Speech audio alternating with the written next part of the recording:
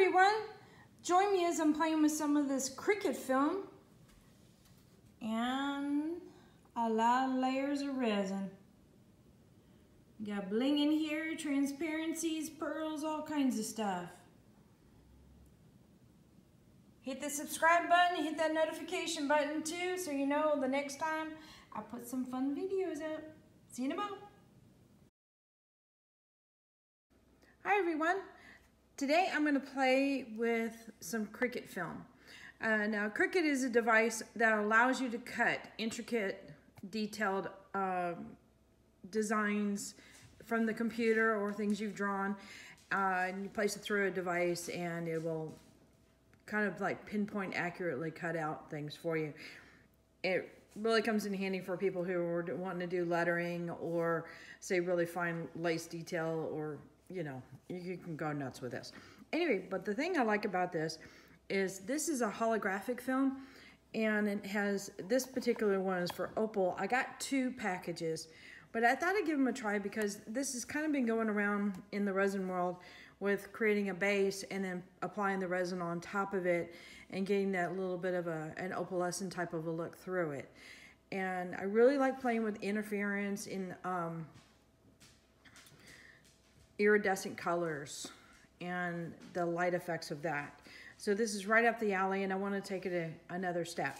So I grabbed a couple of hearts and I've got a couple of colors here that I've chosen and we're gonna cut some film, put it on the hearts and then later on resin them up and see what happens. And I'm gonna try and create some cells that will show the under layering of this as well. So that's the that's the plan. Let's see if Resin has a different plan.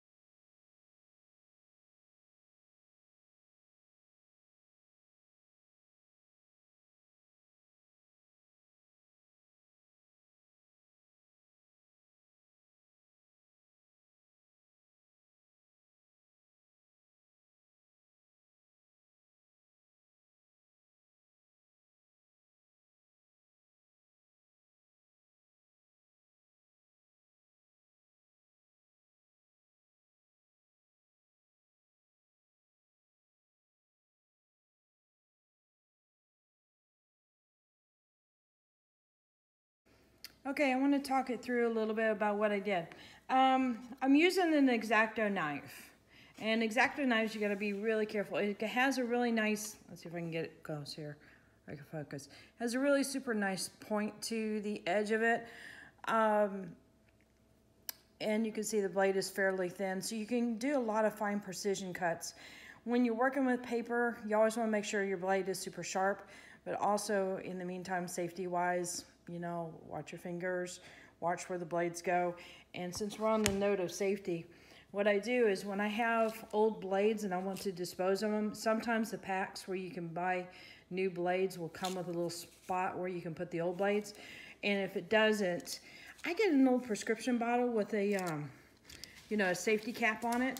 And I put my old sharp points in here. Like I've got sewing needles in here and and old X-Acto blades. So I know they're safe and they can be disposed of easily because you don't want to put these things loose in the trash can and then think, oh, I threw this thing away. I forgot about it. And you go digging around the trash can and yeah, end up on that point. Mm -mm. Nope, nope. So with that in mind.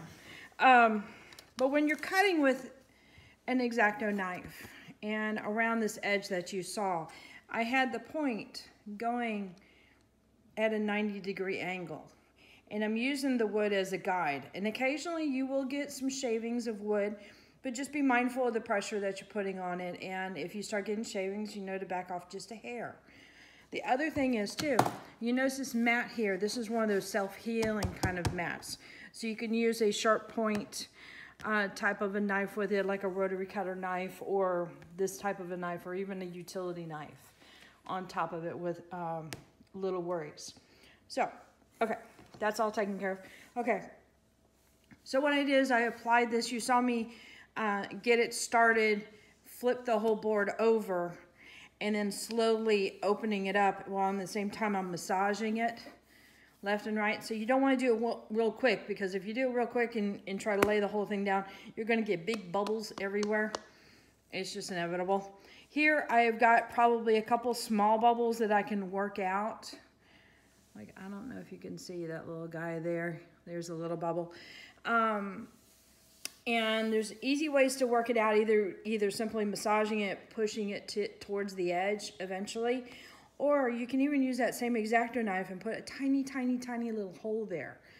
And boy, that fan up above is distracting with this foil. Sorry about that. See, you can even see the camera thing.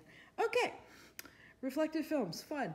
Um, so you could put a little pinprick uh, from the X-Acto knife into that little bubble there and then massage it out and that bubble will go away. Now granted, I'm gonna be covering a lot of this with resin so even the little bubbles will probably disappear to a point, um, but it's worthwhile. Also, the other thing too is because the wood is a certain thickness, the film is on the top part, and there is a possibility of it coming up maybe on the edges.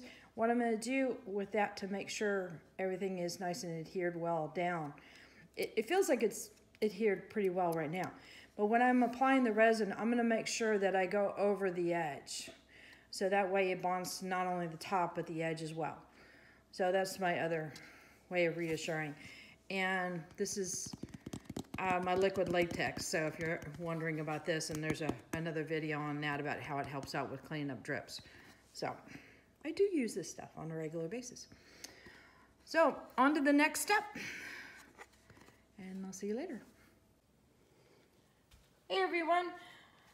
Okay, so I've got the Cricut film on the hearts and I'm gonna play with some different colors. Uh, I've got two of the hearts on standby. And I'm gonna use a little bit of uh, a glitter in there just cause you gotta have some more fun. Um, kind of a, a nice dark blue for the contrast. Got a transparent color here, the really pretty purple. It's actually a fluorescent too. And I've got a nice shimmer, kind of a mermaid color here. It's really pretty. And a little bit of gold, just a little bit of bright gold there. And then some white, so we can have some fun with some soul effects. So I'm gonna play with this guy and see what happens.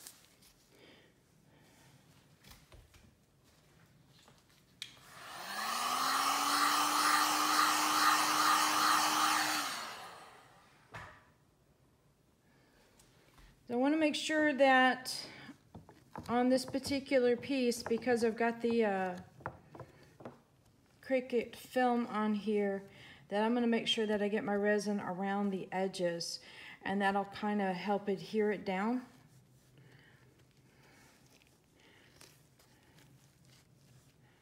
And that's just me making sure. Also gives a nice clean edge too.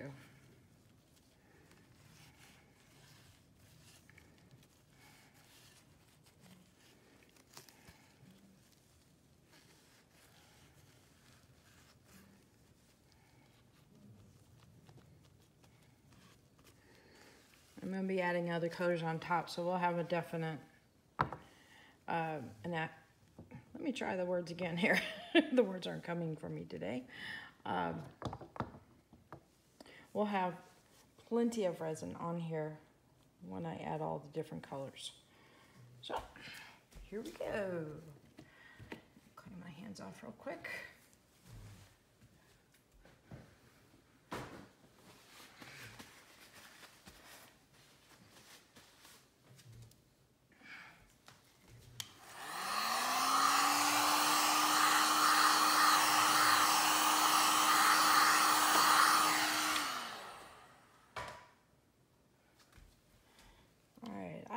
Do this, where I put a little bit of glitter down on the bottom here. And sometimes you get, hopefully that's not too much. Um, because I'm going to use the Stone Coat uh, white base to help create cells. And sometimes this will help the glitter pop out, you know, from the different layers. So we're going to have the Cricut showing through the cells as well as some of the glitter. And this will move around when I start moving the resin around too, or the colors around. All right, so how do I want to do this?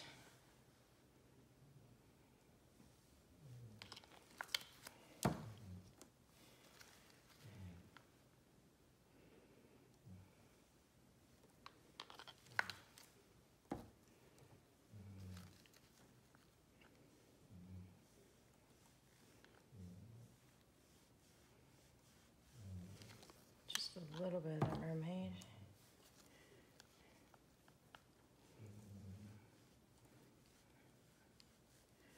A tiny bit of gold. I'm going to put a little bit more of the purple over here. This most likely is going to drip off the edge, but if it doesn't, it'll give a nice edge to it.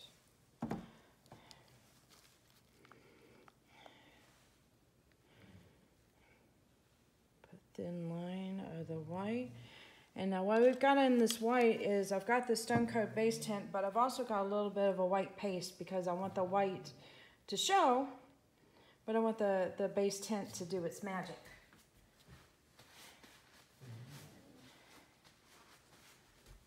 All right, heat that up a little bit.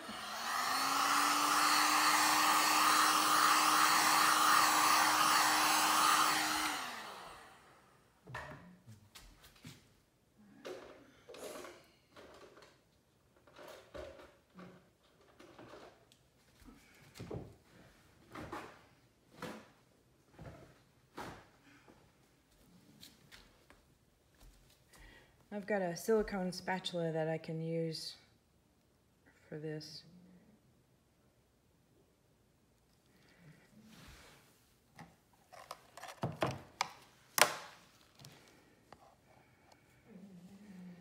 And what I do is I have a little bit of a, um, a cup, a little bit of a cup, yeah. Yeah, words are working real well today. Okay, I've got a cup that I use for my excess to scrape off and then I can use that, pour that straight into molds. And it kind of comes off as a dirty pour. So it's kind of cool. Rotate this around. And the reason I'm rotating it around is because my hand naturally wants to move this direction. And for me to move the other way would be awkward and I wouldn't get a nice smooth curve. Oh, see, that got a little jumpy there. All right. So that's a good place to start. I'm gonna add a little bit more purple over here.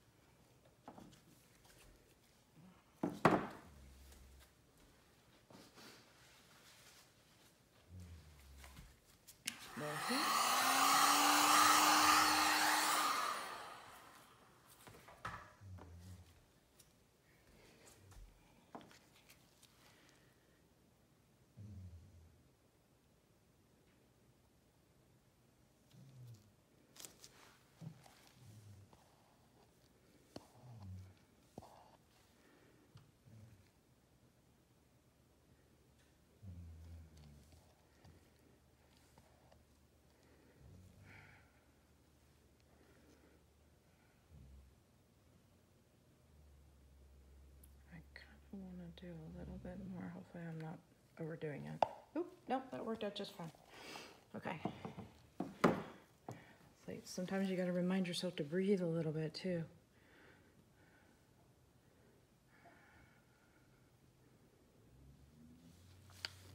I think that is just indie.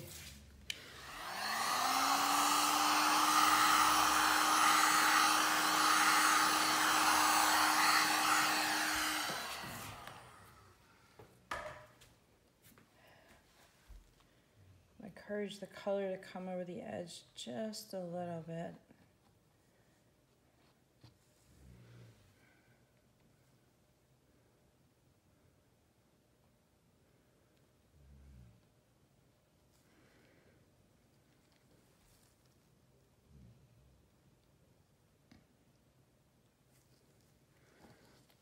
All right.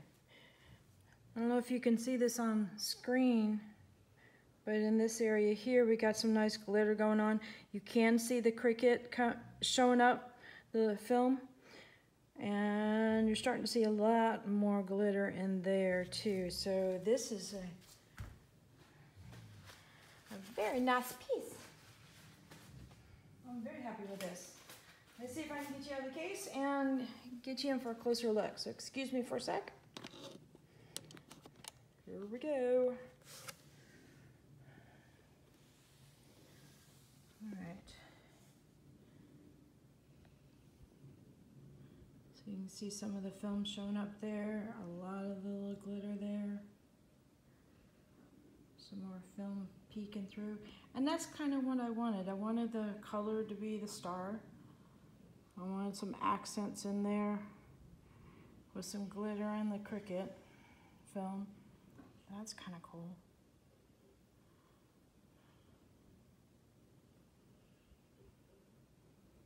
So I'm going to continue playing with these other hearts and have fun with this. Hey everyone, I wanted to give you an update the next day after it cured. So I think this one turned out rather well. There's a little bit of the Cricut cut foil showing through that little holographic film. And you can see it in some of the cells very faintly in some of the other ones. But that's what I wanted. I wanted a little bit of an extra effect and I'm very, very happy with these. Uh, here are the other two that I did and I just varied the intensity of uh, the different colors on each one. So you got different effects. This one probably showed most of the, the film coming through it. A big section over here, but each one of them has their own unique traits and characteristics. There's even a little bit of kind of a an edge on this one too. So real happy. Hit the subscribe button and then hit that notification bell to get notified the next time I put a video up. And I'll see you next time. Later.